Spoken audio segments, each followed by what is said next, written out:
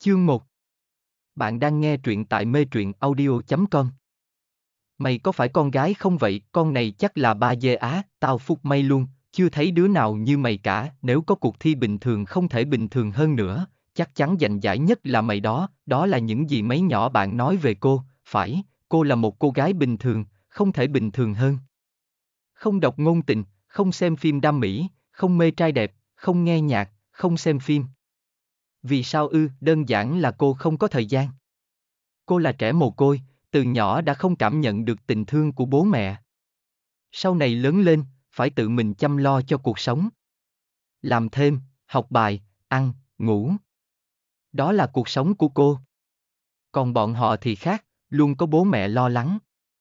Nhưng rồi, một ngày, một đứa bình thường như cô, lại được thay đổi cuộc sống, hôm đó, con nhỏ bạn cùng phòng đọc xong cuốn ngôn tình, liền luyên thuyên kể với cô cả tối. Đến mức nằm mơ cũng mơ thấy nó nói. Và sáng mai tỉnh dậy, mọi chuyện thành ra như vậy đây, người đàn ông và người đàn bà lạ mặt, nhìn cô đau lòng, y hàng, sao con lại dại như vậy chứ? Vì một tên đàn ông mà làm mình bị như vậy, người đàn ông nói, ba nhất định sẽ không bỏ qua chuyện này, rõ ràng, thấy con bị ngã xuống như vậy, mà chẳng có ai xuống cứu, cô vội vã lắc đầu, không cần đâu, chuyện này cứ cho qua đi ạ, à, con không muốn vướng mắc vào anh ta nữa.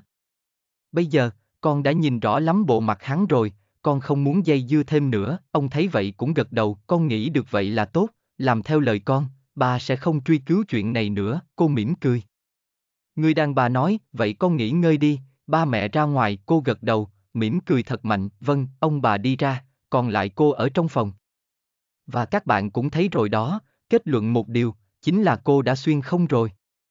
Ông trời cũng thật tốt, cảm thấy cô chịu khổ nhiều nên muốn bồi đắp cho cô mà. Bây giờ, cô có ba mẹ, có sắc đẹp mê người, có tiền, có quyền, có địa vị. Muốn làm gì cũng được, không cần phải giống như lúc xưa nữa, ha ha, thích quá cơ. Mà nữ phụ này tên Nhan Y Hàng, giống hệt tên cô, nhưng tính cách chảnh chọe, mê trai, khinh thường người khác. Hay đi quyến rũ đàn ông, làm ô uế thanh danh gia đình chục lần. Nhưng ba mẹ vẫn rất yêu thương cô ta. Lần này, cô ta vì tiếp cận một nam chính trong hậu câu nữ chính mà gây sự với nữ chính trong bữa tiệc ở nhà nam chính. Sau đó, cả hai, cùng bị ngã xuống bể bơi. Và nam chính cứu nữ chính lên bờ, còn nữ phụ, được ai cứu nhỉ? Chắc là người của ba mẹ cô ta, mà thôi vậy, mình đã hóa thân thành nữ phụ rồi, thì sẽ không để giống cô ta, đánh mất những gì quý giá nhất của bản thân. Phải trân trọng những gì đang có. Nam chính nữ chính mặc kệ, không cần quan tâm, sống cuộc sống hạnh phúc này của mình là đủ rồi. Nghe trọn bộ tại mê truyện audio.com, link trực tiếp ở phần mô tả.